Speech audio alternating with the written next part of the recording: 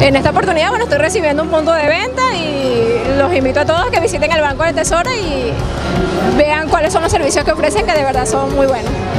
La solicitud fue bastante sencilla, todos los requerimientos, todo lo que pidieron y el personal del banco de verdad que súper amable, atento y muy diligente en todas las operaciones.